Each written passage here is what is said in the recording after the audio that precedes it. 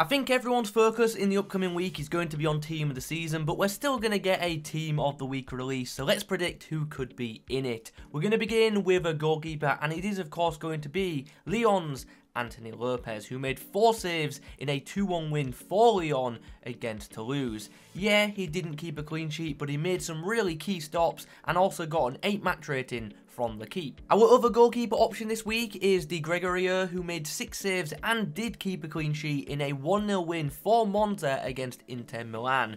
Very big result here for Monza, and a clean sheet against Inter Milan is pretty impressive. He also got a 7.5 match rating from Gazzetta. Alright, let's now talk defenders, and we've actually got some pretty good ones this week, some very notable ones, and we'll begin with Miranda, who, um, who knows, maybe could be a cheap Capdevila.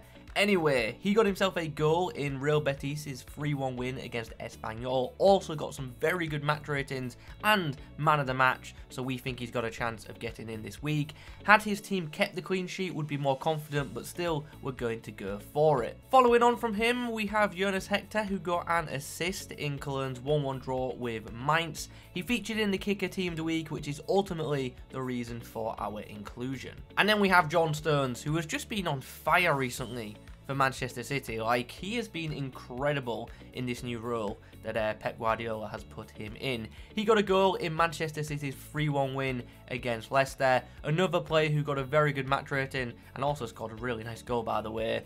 But yeah, once again, didn't keep a clean sheet. That would have definitely made us more confident in the selection, but still, we're going to go for it. I've said the word clean sheet way too many times in the past few minutes, but I'm going to say it one more time because Nacho Fernandez did indeed keep a clean sheet in Real Madrid's 2-0 win against Cadiz.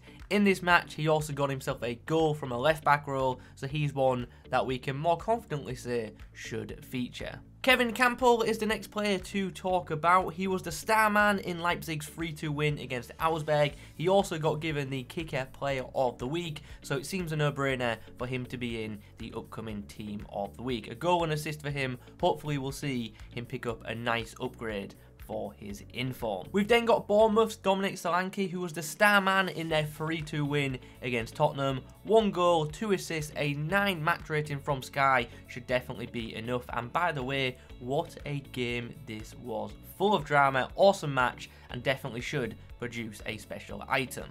On the reserves, we should see Jack Marriott. He got himself a hat-trick in a 5-2 win for Fleetwood.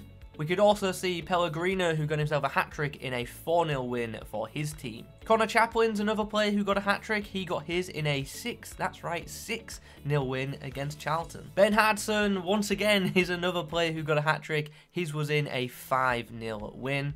And then we have a player who actually didn't score a hat-trick, but he had four goal involvements. Two goals, two assists in a 4-2 victory, so he has to make the bench slash reserves.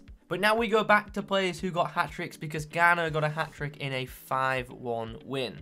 Joseph Paintsil got two goals and an assist in a 5-2 win for Genk against Anderlecht. Obviously a very big win in the Belgian Pro League. This would be a second in form and honestly, it's starting to look like, you know, a decent card. With the right chem style applied, this item, on face value at least, looks pretty good.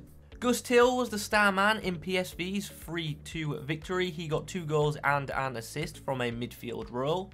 And then we have Crystal Palace's Eze, who got himself two goals in a 2-0 win for Crystal Palace against Southampton. And Roy Hodgson has seriously got Palace playing. Three games, three wins, nine goals. Impressive stuff. Another player who had a standout performance on the weekend was Aston Villa's Ollie Watkins, who got himself two goals and an assist in their 3-0 win against Newcastle. So, yeah, massive result for Aston Villa. I think people believed that Villa could get a result in this game, but I don't think they expect it to be, you know, so comprehensive. A 3-0 win against Newcastle. Not many teams have scored that many goals against Newcastle, especially as of late. We maybe could see another special item for Griezmann this week. He got two goals in a 2-1 win for Atletico Madrid against Almeria. So, yeah, could be another special card. He's had so many in this year's game. We haven't spoken about a player who got a hat-trick in a while, so let's do exactly that. Mauro Icardi got three goals in Galatasaray's 6-0 win. Inaki Williams scored twice in a 2-0 win for Bilbao against Real Sociedad, so that could be an interesting item for sure. And then we have Jeremy Doku who got two goals in a 3-0 win, and this is another one that could actually be quite a good item if it gets a good notable upgrade. We're going to end this week with a potential one to watch boost for Antony. He got a goal and assist in Manchester United's 2-0 win against Nottingham Forest. He also got some decent match ratings as well, so maybe, just maybe, we'll be seeing that one to watch card get a upgrade. So those are our predictions for Team of the Week 25. Let us know your thoughts on them in the comments down below. Like always, if you want to read a more in-depth explanation on these players and the reason for our inclusions, then check out the link in the description it will take you to the Futbin website.